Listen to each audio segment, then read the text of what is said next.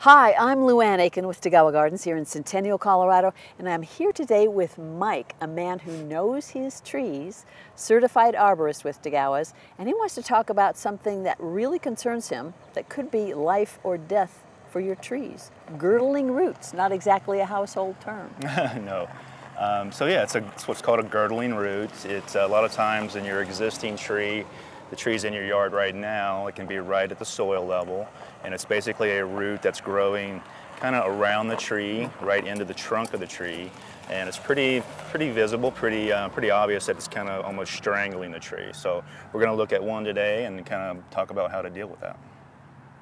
Okay, so on this tree, a, a good way to start is to sort of grab a shovel and excavate around. These were these roots here were really obvious. We knew we had a problem even before digging around, but we went ahead and dug around, exposed a little bit more.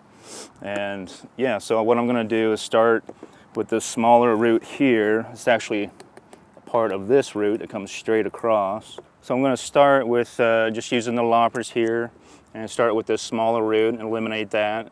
So we're gonna make the cuts and then completely remove them. And then for these larger, this larger root here, I'm gonna very carefully make some cuts with a chainsaw. I'm just gonna go ahead and cut under here.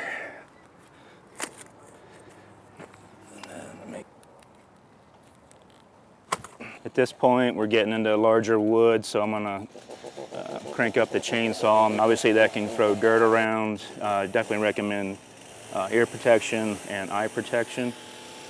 And I'm gonna go ahead and get busy and see what we can get into. Yeah, this is, uh, this is pretty extreme. I mean, you do see it uh, on trees uh, along the front range. Um, you see them, it seems like more, more frequently in faster growing trees, such as the American elm like this one, or maples. Um, but there's a, there is a large root here that we're removing. We're not quite done yet, but um, in this situation, I'd probably recommend um, getting a certified arborist out there to take a look at it because once you start removing these larger roots, you can create a stability issue uh, with the tree. If you remove too much um, and destabilize the tree, it could blow over in wind or a snow load. This was a pretty extreme girdling root here, but a few cuts and it, it solved the problem.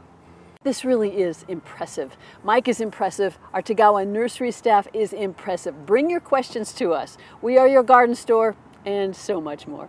If you like this video, please share it with your friends and find others like it on our Tagawa Gardens YouTube channel. Also, find us on Facebook and Instagram.